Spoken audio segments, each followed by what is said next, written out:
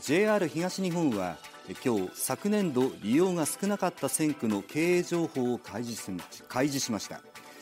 それによりますと利用者の1日1キロあたりの人数を示す平均通過人数が2000人未満だった線区は36路線72区間あり県内では宝石寺駅と烏山駅を結ぶ烏山線が入りました。烏山線は7億2700万円の赤字で平均通過人数は1144人と